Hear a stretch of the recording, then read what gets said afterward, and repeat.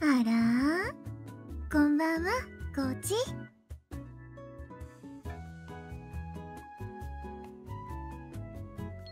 いつも整備班にはお世話になっちゃるかい。ちっとでもお手伝いをせんとね。整備班のみんないつもありがとね。そんな歌いさんが頭を下げないでください。この子たちを整備するのが私たちの仕事なので。むしろ選手の皆さんは気持ちよくこの子たちを使ってあげてください。やけど人手が足りんかったら遠慮せんでええとよ。いつでも声かけてね。走行具箱はあっこまでうちが運んでいくかい。みんなはちゃんとマシンのこと見てあげっとよ。すすいません。ありがとうございます。あ歌いお姉ちゃん。誰にでもあんな風に接してくれるんですよ。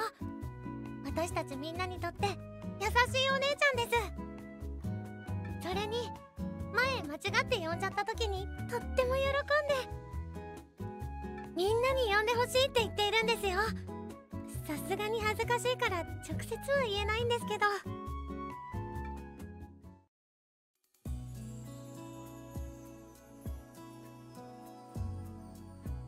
ん？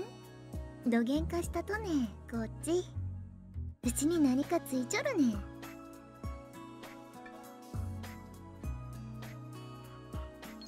そうやとよ。でもみんな恥ずかしがって呼んでくれんちゃけどね。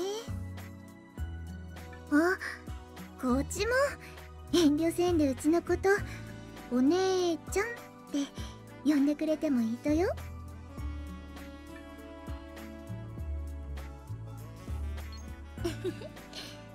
あくまでお試しよこい気にせんでええとよ。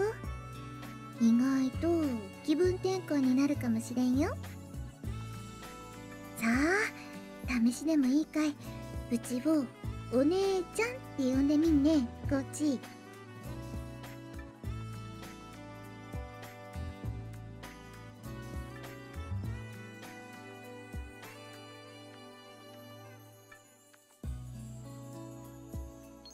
ああこっち。どこに行くとね。うんと。逃げんくてもええと思っちゃけど。こっち。意外と照れ屋やっちゃね。でもそんな反応されるともっと呼ばせたくなるとよ。